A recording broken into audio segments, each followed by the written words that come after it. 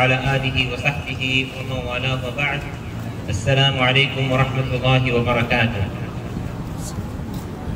First and foremost, I would like to welcome our special guest and VIP, Dr. Muhammad Noor, who is also the advisor to the board of directors, our CEO, Dr. Muhammad Fauzi, and our managing director, Juan Susana. Then all of the parents who have taken the time to come out this morning to support their children. And of course, we want to welcome all the children who have spent the last week preparing so hard for this event. And last but not least, of course, all the teachers and the staff who have made an amazing effort to bring this event together. May Allah subhanahu wa ta'ala reward them all with good.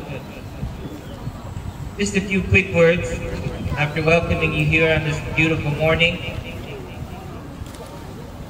A reminder of what the Prophet ﷺ said, and that is, Al-mu'minu al-qawiyu khayrun wa ahabbu ila Allah ta'ala min al-mu'min al-da'if.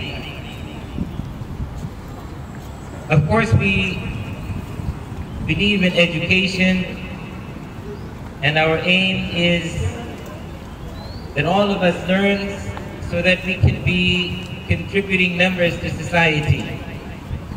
And we want to increase our iman and our faith in Allah subhanahu wa ta'ala.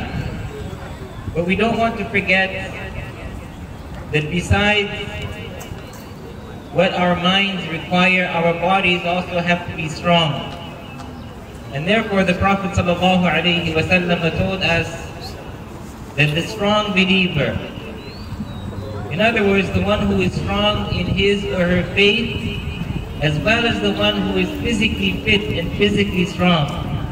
Al-mu'minu al-qawi. So the strong believer in all aspects, both spiritual and physical. خَيْرٌ وَأَحَبُّ إِلَى اللَّهِ So the strong believer is better and more beloved to Allah than the weak one. This is why we want to try and keep a balance. As we said, our academic and spiritual education is at the top of the list, but we never forget the physical aspect. And this is why we grant our students the opportunity to participate in PE, in Taekwondo, in badminton, in futsal, any physical activities that we can get them involved in. And here is a demonstration today of us believing in a healthy body and believing in sports. So this, this morning is an opportunity for our kids to enjoy themselves outside the school, to show their teamwork, to show their participation, to show their cooperation as well. Because in order to make something like this come together, it requires a lot more than some of us might imagine. In, in any event, Alhamdulillah, we have had the opportunity to meet here this morning and I hope that the day goes very well.